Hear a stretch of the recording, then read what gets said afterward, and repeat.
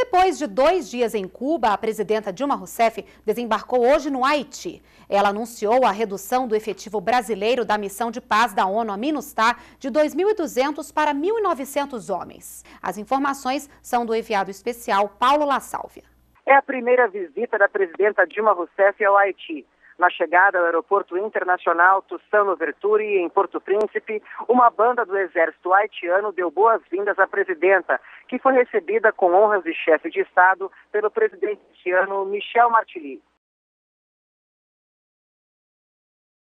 Do aeroporto, a presidenta Dilma Rousseff seguiu para o Palácio Nacional do governo haitiano e, na companhia do presidente do Haiti, Michel Martelly, discutiram a atual situação do país. Desde 2004, o Brasil lidera a missão das Nações Unidas para a estabilização no Haiti, a MINUSTAH. Treze países mantêm tropas em Porto Príncipe. São quase 12 mil homens.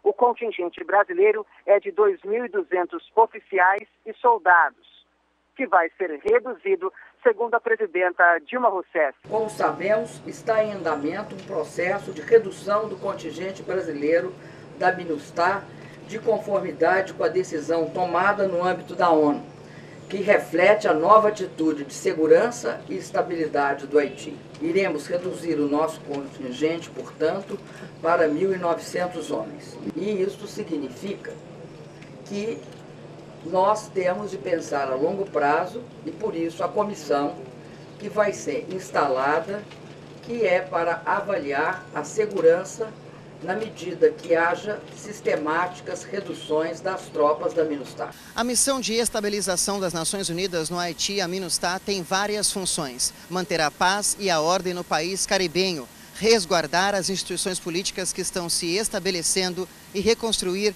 a infraestrutura local, que foi severamente destruída por um terremoto em janeiro de 2010, que matou 223 mil haitianos.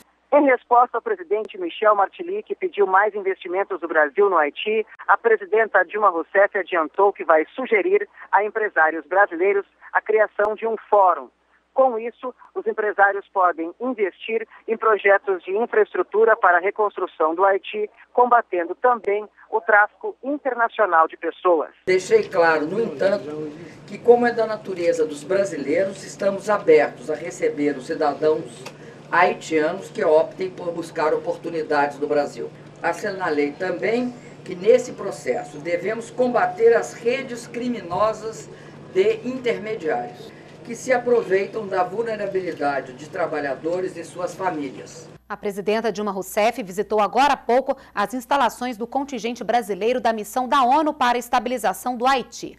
Antes do retorno para o Brasil ainda hoje, está previsto um encontro com representantes empresariais e da sociedade civil brasileira que atuam no Haiti.